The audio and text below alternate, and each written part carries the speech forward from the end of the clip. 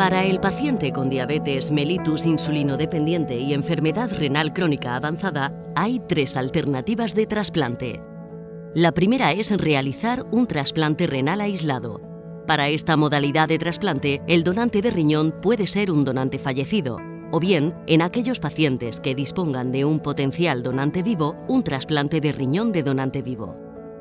La ventaja de esta alternativa de trasplante es, principalmente en el caso del trasplante de donante vivo, que la cirugía se puede realizar de forma programada, anticipada y alcanzar el trasplante antes de la necesidad del inicio de diálisis. Además, estos riñones presentan excelente supervivencia a largo plazo.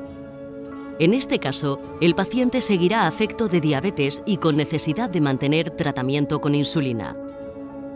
Para estos pacientes, ya con un trasplante de riñón, otra alternativa es, transcurridos unos meses, la de realizar un trasplante de páncreas aislado. La principal ventaja de este procedimiento es tratar la diabetes, permitiendo que uno pueda vivir sin la necesidad de controlar la glucemia ni de tener que administrar insulina. A largo plazo, el buen control de la diabetes que proporciona el trasplante de páncreas conlleva a que riñón trasplantado pueda durar más años.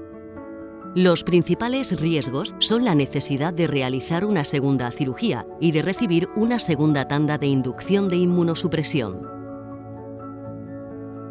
La tercera alternativa es la de realizar un trasplante de riñón y páncreas simultáneo, de un mismo donante fallecido. Este procedimiento permite que en una única cirugía, pero más compleja, se traten las dos enfermedades a la vez, la enfermedad renal crónica y la diabetes. Este procedimiento se asocia con los mejores resultados a largo plazo, tanto en supervivencia de paciente como en la duración del riñón y páncreas trasplantados.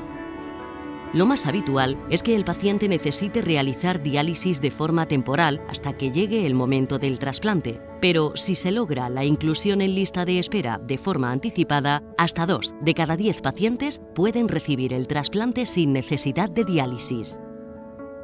Las indicaciones específicas para trasplante de páncreas y los criterios para la decisión clínica de una alternativa de trasplante frente a otra son múltiples.